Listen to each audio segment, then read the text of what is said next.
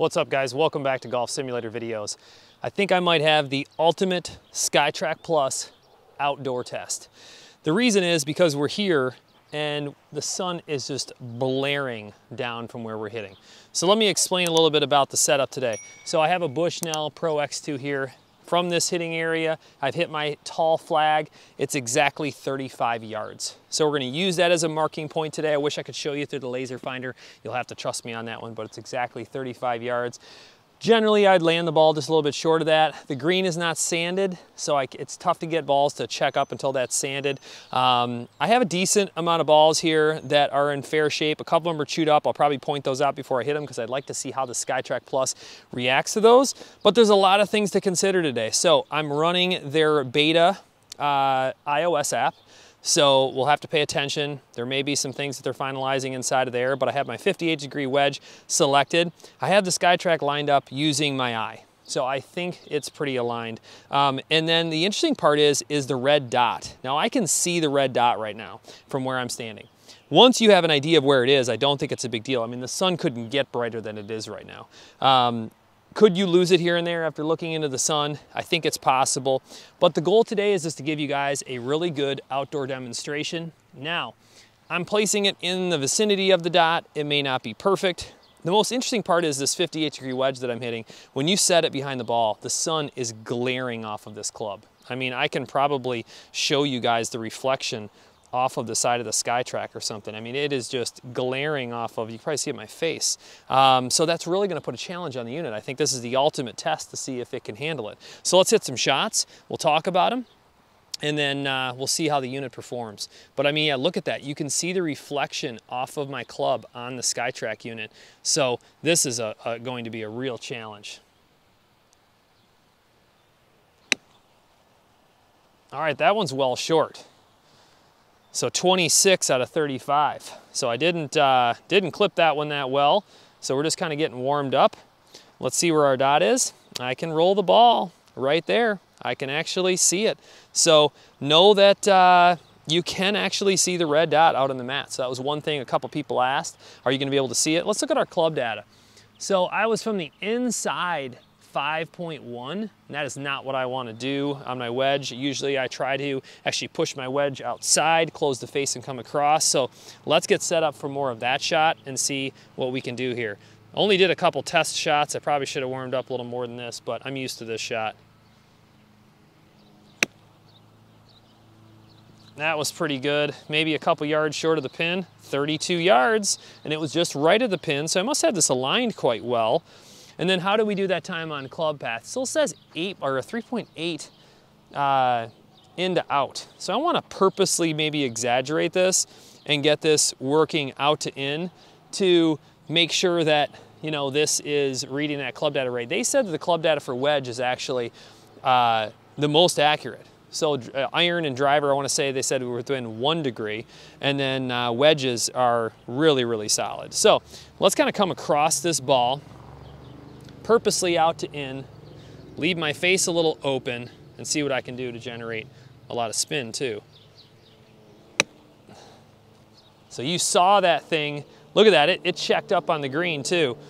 So it was short of the pin, but look at the spin I generated on that coming across, and then sure enough, I was from the outside.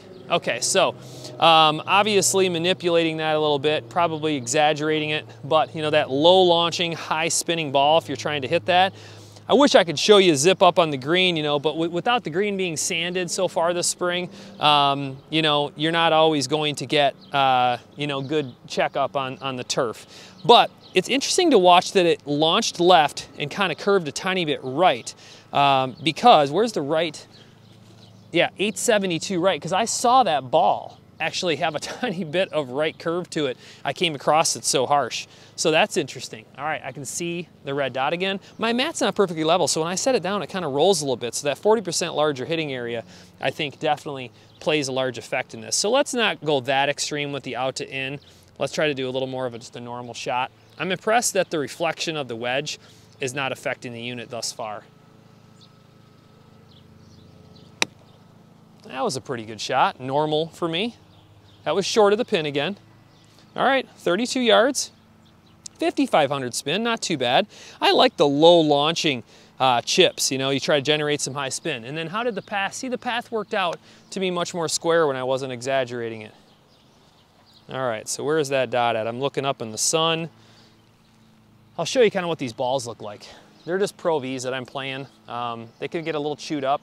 And the reason that I thought that I would play these is because range balls aren't perfect. So if you're out on the range, this is kind of what you would expect, right? So um, I feel like it's the right ball to do the SkyTrak Plus outdoor test with. Um, I love that I'm hitting these though within that range that I'm looking. I'm always looking a couple yards short of that pin. All right, we can try to maybe launch this one a little bit higher. See how it does with a, a higher launching ball. That was significantly higher. Look at that, that one checked up a lot with the launch. Uh-oh. The SkyTrak might not like the high launch with the crazy sun. So this may be the first thing we're identifying here is that uh, the high launching it might not like. The way, if you can't see the dot, because sometimes it washes out, you can hold your hand up here, find the dot, follow it back, and then see it on the turf. So that's an easy little cheat method if it's this bright. I mean, this is extreme. Let's try to do another higher launching ball. That was probably well over 30 degrees that time. That reflection might just be too extreme with the wedge the way it is. You can see how much higher that was. That was a little behind the ball. Ooh, it almost went in. Oh, it got that one. And then let's look at the launch. Like I said, above 30. Not as much spin. I hit it just a little bit behind the ball. You're always gonna lose a little spin on turf as well. I'd have to say this is doing a pretty damn good job so far. If I roll the ball in front of the dot, it goes purple for a second and then it goes green. Then you know the dot's on and you're good to go. So I'll just set it back down. All right, let's do a normal shot. So it picks up the higher launch. Um, and you know, with that much reflection, depending on if the wedge is just perfect, maybe that would be one challenge. All right, I'm gonna go for that little higher spinner, come across it a little bit. That was just short of the pin, so that should be real close. There you go, 34 yards. It launched higher, 28 degrees, and I almost broke that 6,000 barrier. All right, so from where they're going, they're going you know, pretty much at the pin, most of those shots, and it's showing it straight forward. I feel like we're reasonably lined up. And then how was my path that time? So it was just outside point four, not, not too extreme. I could see the dot that time as well. All right, I'm gonna hit one of my lower launcher just say I'm gonna hit this thing up on a hill and want it to like kind of check and roll towards a pin. Uh, we'll try to maybe get it just on the turf, so maybe this one will be short. Oh yeah, way short. 23 yards. And then what was that launch? 22 degrees. So it's good to see it can pick up that like super low launching, you know, shot if you're trying to chip super low. And then, you know, my course has real turf.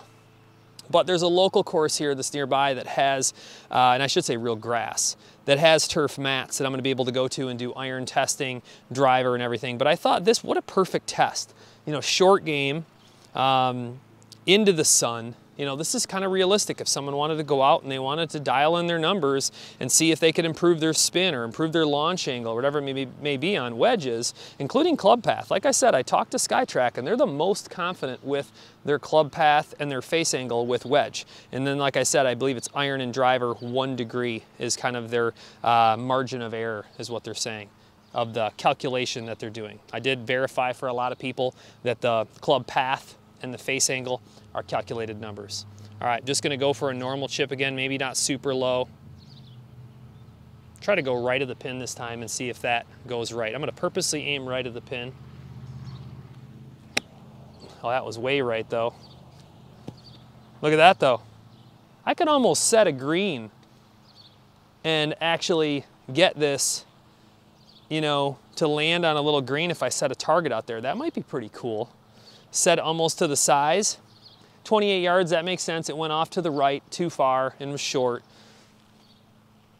All right, I'm gonna do one more to the right and not quite as extreme and catch it a little bit better. That wasn't that great of a shot. I got spin on that one. So a little farther right. There you go, that's right of the pin and maybe a yard or two short. Okay, 31, went right. So I must have this aligned well because it's reading those right. All right, I have one more ball left. I think, how chewed up is this one? This one's pretty chewed up. I like that it's reading the ones that are pretty chewed up. And when I say pretty chewed up, I'll show you guys this ball. I mean, that's pretty chewed up in my opinion. Hopefully you can see that on camera with the sun and everything. And then of course I walk back, I can see the dot. It's good to know. All right, let's just go at the pin again.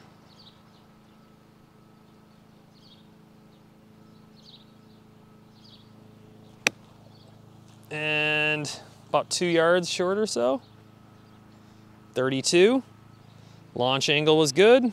Not as much spin, caught it just a little bit behind the ball, which makes sense.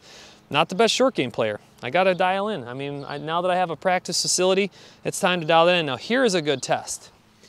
Have you guys ever seen a floater ball? Have you ever been to a range that has water and they have floater balls? Yeah, I, I keep these out here for people that aren't confident, you know, hitting up on the green. And this will be interesting to see how it reads this.